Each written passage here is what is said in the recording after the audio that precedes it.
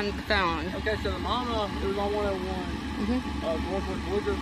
The mama had crossed the road, and the mama actually got hit by a car, and she was right behind it. And so I picked her up and brought her home for a little bit. This was probably around 10 o'clock this morning. Okay.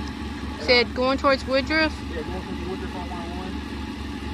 because we went looking for a fawn this morning. We went well. And I Late morning. Her, so I picked her up, took her to Tractor Supply, and I picked up some milk Okay. and fed her. I if it's the same one because we went. There's a dead mom and the vultures were already there by the time we got there. And then-. Oh, you watched it happen. Okay. it was somebody else called me then, so there's another one on, on the same road, closer to Woodruff probably. Okay. All right. Thank you so much.